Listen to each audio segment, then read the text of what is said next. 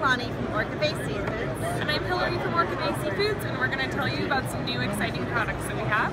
This is our food service box. It's graphic wrapped and ideal for hybrid retailers that sell to restaurant and restaurateurs. And this is a 5 ounce spice rub line. Um, single portions, exact rate.